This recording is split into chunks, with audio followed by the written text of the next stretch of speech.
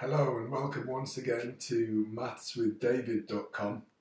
I'm David Swanson and today we're going to look at a complex numbers question on the Pure Mathematics 3 Cambridge International A-Level paper. I'll start by reading through the question. The complex number z is defined by z equals 9 root 3 plus 9i all over root 3 minus i.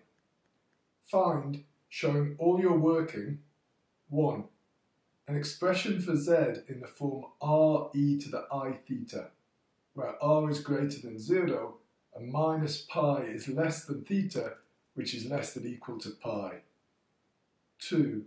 The two square roots of z, giving your answers in the form r e to the i theta, where r is greater than 0 and minus pi is less than theta, which is less than equal to pi. So for the first part, in order to put our complex number into exponential form, we'll have to find r, which is the modulus of the complex number, and we'll have to find theta, which is the argument of the complex number.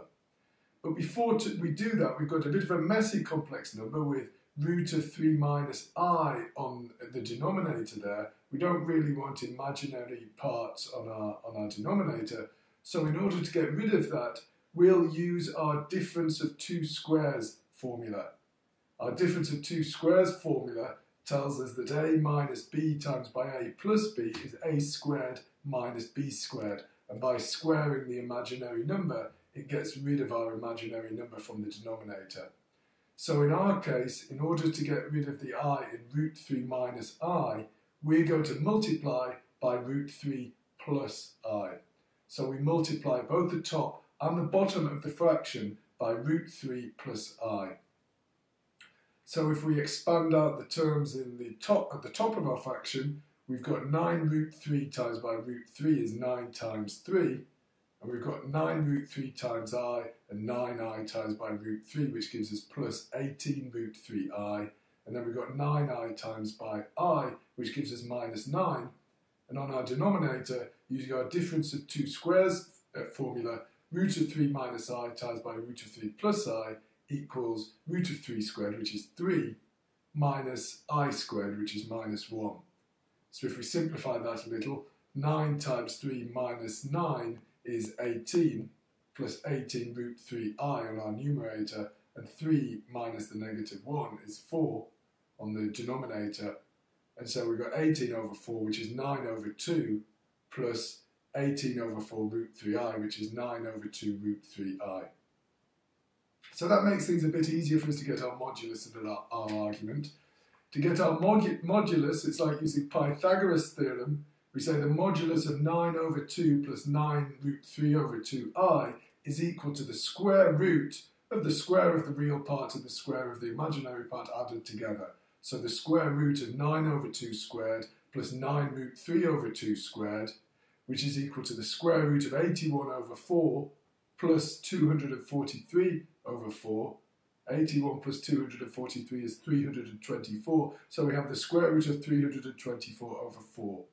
Now if we cancel out common factors, we can divide by 2, the top and bottom, and we can divide by 2 again, leaving us with the square root of 81 over 1, or the square root of 81, equals 9.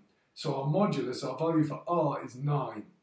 We just need to find our argument now. Now to find our argument, if we draw a little sketch, we can see that the x component there is 9 over 2, and the y component is 9 root 3 over 2.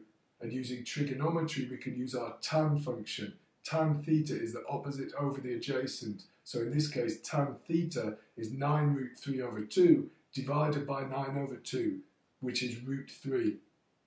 So if tan theta is root 3, that's a standard angle that we don't need our calculator for. We know straight away that th theta is 60 degrees, or as they've given us the question in radians, we'll stick with radians, pi over 3 radians. So we can write our z as re to the theta i is 9e to the pi i over 3. For the second part of our question, we want to get the two square roots of z. We could use the fact that we now know it in exponential form to make this part easier. So if z squared is equal to 9e to the pi i over 3, then we know that r squared is 9, and we know that 2 theta equals pi over 3 plus 2n pi. This is based on the fact that the square of the magnitude, we square it, but when we've got a square it's the argument we're looking at, we basically, we've got double the argument, and we add on our 2n pi, because every 360 degrees, every 2 pi, you get the same argument crop up again and again. So if, if r squared is 9, r is 3, we can forget our minus 3 because we're talking about a positive length. And if 2 theta is pi over 3 plus 2n pi, then theta is pi over 6 plus n pi. So we've got our r as 3. The theta, we need to check which ones fit within our given domain, which is that theta must be between minus pi and pi. Well, clearly if n is 0, pi over 6 is between minus pi and pi. How about if we add n's to it? If we, if we try by subtracting 1, uh, if we make n into minus 1, we've got pi over 6 minus pi, which is minus 5 pi over 6. That's between minus pi and pi, so that's fine. And if we try n as 1, pi over 6 plus pi is 7 pi over 6. That's greater than pi, so that's no good for it. So obviously anything outside of those is going to be too big or too small. So we've got two answers. z is equal to 3e to the pi i over 6, or 3e to the minus 5 pi i over 6. And so if we work through and look at our marking for this question, we get our first method mark for the method of multiplying through by root 3 plus i, showing that we know about this um, difference of two squares formula. We don't have to be accurate, but we have to apply that technique. And then we get an accuracy mark if we get either a correct numerator or a correct denominator at the stage where we got 18 plus 18 root 3i over 4, with a third and final accuracy mark for the correct 9 over 2 plus 9 root 3 over 2i. And then in the second part, we've got a method mark for finding our r and our argument, so finding that we've got a magnitude of 3 and then we've got an argument of pi over 6 plus n pi, and then we get one accuracy mark each for each of the two answers, 3e to the pi i over 6 or 3e to the minus 5 pi i over 6. That's the end of today's question. I hope you found that useful. Any questions or comments, please please feel free, whether you're watching this on the website or on the YouTube site, you can comment in either place. Um, if you if the video is useful to you, uh, we recommend that you subscribe so that you get updated of any other questions that come along. And uh, please feel free to browse the website at www.mathswithdavid.com for similar answers. Thank you for watching and goodbye.